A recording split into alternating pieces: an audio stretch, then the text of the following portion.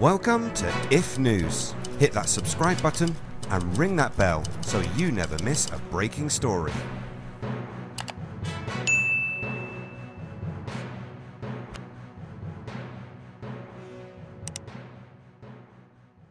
The stories I have for you this week start with one of the most viral UFO related stories in recent years the storming of Area 51. The second, the documentation of UFOs by the United States Air Force. This followed by the UFO cryptid and paranormal summer vacation spot, and ending with the sale of one of the most spooky properties to have ever been put to film. So, first up, a story that continues to grow and grow. What started out as an online petition by a few UFO nerds has now grown into a global movement that includes celebrities like The Rock and Keanu Reeves. I'm of course talking about the planned raid on Area 51. 1.1 million people have pledged that on September 20th they will storm the gates of the secretive military facility, a move which the US Air Force is strongly advising against. Here's the plan as per the creator of the event. We will all meet up at Area 51 Alien Center tourist attraction and coordinate our entry. If we Naruto run, we can move faster than their bullets. Let's see them aliens. Area 51 is probably the most famous location in ufology. The United States Air Force facility, commonly known as Area 51, is a highly classified remote detachment of Edwards Air Force Base within the Nevada Test and Training Range, according to the Central Intelligence Agency. Others say it's the home to all things extraterrestrial here on planet Earth. This idea received a boost recently, with Bob Lazar once again appearing on the internet and TV shows across the world. Today, Area 51 may be known for its aliens, but after September 20th, could it become known for a whole different reason? I guess we will have to wait and see.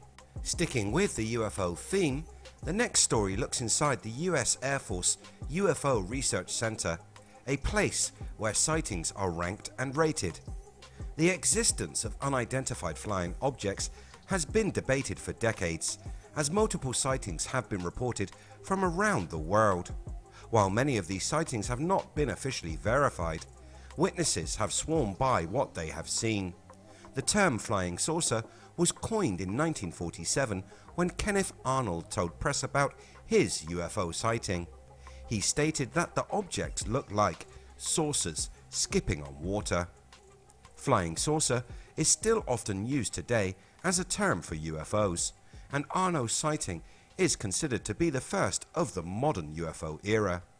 This sighting led to the creation of the first public United States Air Force studies of UFOs, known as Project Sign. By the end of 1948, Project Sign was then succeeded by the short-lived Project Grudge, before eventually formally ending at the end of 1949. The US government's longest investigation into UFO sightings was called Project Blue Book and analysed over 12,000 sightings and events between 1952 and 1969. In 1973, J. Allen Hynek, an astronomer who worked as an advisor for Project Blue Book, established the Center for UFO Studies after concluding there was enough evidence to confirm the existence of extraterrestrial beings.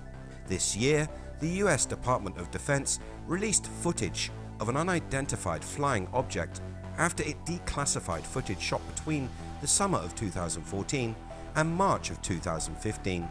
This series of reports and projects have been working toward an event that many with an interest in the field of ufology have been calling for for decades full disclosure. This story and the many others recently featured in the MSN are the first steps towards revealing the information that we are not alone and that extraterrestrials have been visiting this planet for a long time. They say 2019 is the year the truth will be told. What do you think? Will we see the governments of the world make this announcement soon?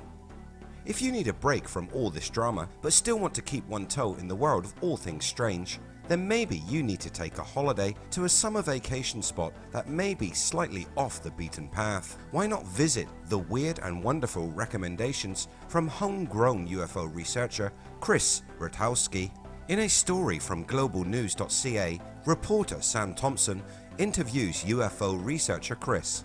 Chris lists a number of locations in Manitoba that fans of the strange may like to visit. One of his favourite lesser known spots in the province is the Sam Waller Museum in the Pas, home to a variety of bizarre exhibits, most notably a cast of a Sasquatch footprint taken by conservation officers at RCMP. Rutkowski said, Back in 1979, lots of people had seen this big black, hairy, 8 foot man beast up near Gypsumville. It's a very weird museum. It has strange things. It has Buck Rogers pistol ray guns. It has a rocket that was shot into space from Fort Churchill. It's got things like a human appendix. I think it even has a two-headed calf. If that's too weird for you, why not have a swim in one of two Manitoba lakes that are, if you believe sightings going back to the 1930s, home to sea monsters. Manipogo Provincial Park is northeast of Dauphin. It's a real jewel it's got some of the best beaches, crystal clear blue water, and it's a location where a lot of people say they've seen this lake monster, Manitoba's version of Nessie. If you don't fancy visiting Manitoba, maybe the location of the next story and of one of the scariest films ever might interest you. The house, which featured in the movie The Conjuring. Paul Seaburn wrote the article on MysteriousUniverse.org, which says since the passing of Lorraine Warren in April 2019, it seems that many things associated with her have been popping up in the news regularly. There was her burial in a cemetery haunted by a white lady ghost, a haunted rocking chair that allegedly levitated in the Devil Made Me Do It case was put on display at a haunted museum in Las Vegas, only to have the exhibit shut down after visitors reported negative feelings around it.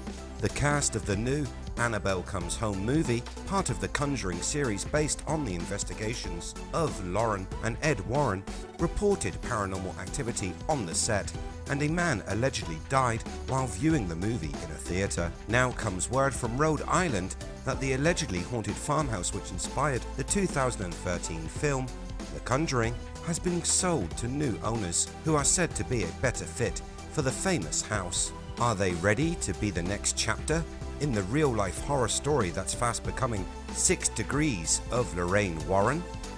What do you think about these spooky coincidences and the rest of this week's stories? Are you planning attending the Area 51 raid?